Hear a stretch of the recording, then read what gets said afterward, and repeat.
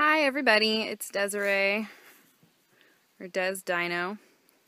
Today I'm going to take you on a tour of Oran Mor community where I'm living. Um, I'm going to start off this segment with the Greenel, which is where we have planted a lot of squash this year. You can see some hollyhocks on the left. We love planting flowers with our food. Good for the insects and the soil biodiversity. There's a hollyhock. And then over here, we've got a grapevine traveling up the trellis. And this tunnel is made from cattle panels and T-posts. So it's pretty simple construction, and it just is beautiful with all the plants growing up. And here in the background you can see our windmill, where we have our well is underneath. Normally we have to hand pump, which is mainly Bunny. He's great at getting water for us so that we can survive and the plants can thrive. Although a lot of the time we also use rainwater from our rainwater catchment. But anyways, these are some squash that we have planted here. And this one needs to go up. So we kind of tie them until they start gripping on. We planted four different families of squash because we're saving seed and squash cross-pollinates. We made sure to choose one variety in each of the four families because when they're in different families, they won't cross. At least they're not supposed to, so we're experimenting. We're new to seed saving, although I've saved a little bit, but we're trying to save a lot of seed this year. These, I believe, are the buttercups, but we don't have any fruit on them yet. We just have some flowers, and the vines are just looking really nice, so I'm sure we'll get some fruit soon. There's one flower. We also have some cucumbers planted here. Some Marketmore cucumbers. This one's a really good one. And we have this one.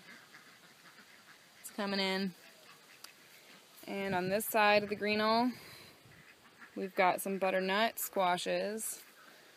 Some nice flowers. Haven't seen any fruit yet, but they will be coming on shortly. Lots and lots of blooms in the morning. As you can see, they're starting to want to climb up.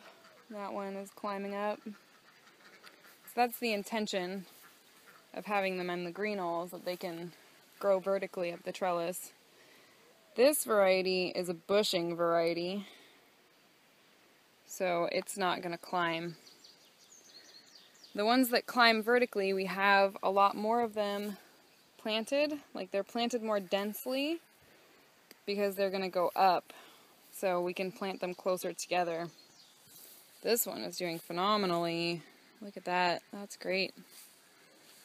We'll have some squash very soon. Grow little squashes. Cool. There's another little cucumber down there. Our cucumbers didn't do so well because we planted them when it was pretty hot. I mean, they were started already, but it was hot and it was not very rainy at the time. Cucumbers like a lot of moisture or a little bit of shade.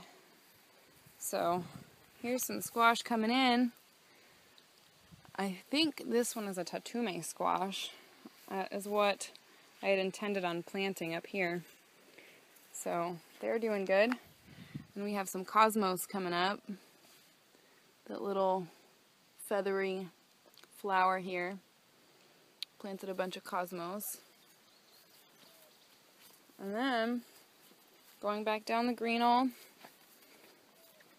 I can show you some other stuff that we have planted next to it. Well, let's go this way. There's a manure pile because we recently mucked out the goat barn. Got all the old straw and poop and pee and all that good stuff out of there, so it's going to build up the bed into some nice soil.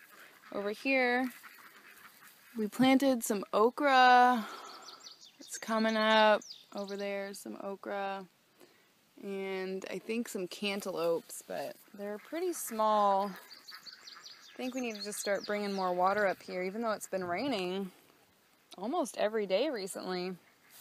We'll see. And then these are the cushaw squash, I believe. And then here's another passion flower that's kind of making its way up here. We have these tomato cages, and instead of planting one tomato inside, sorry, that was my finger, we plant the plants around the outside so that you can plant more than one plant to each tomato cage. So this one's got some squash at it. Over here, some tomatoes. Lots of tomatoes. They need to be tied soon. Yep, they're doing pretty good. Doing good. Awesome, awesome. There were some little peppers in these tin cans, but they're just not growing. They're really tiny. Even when we had them in the little starter pots, they didn't want to grow. I don't know. Here's an okra that's doing really well. There it is. Hello, little okra. Grow. And then over here, these are little blue beans. I'm pretty excited about these. I've never had them, but they're really pretty. They are little and blue.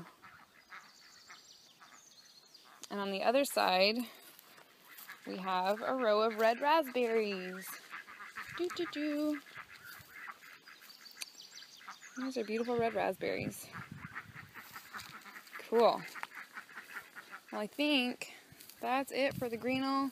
And this side of the garden, we have much more to show you, but I think that'll be it for our first video.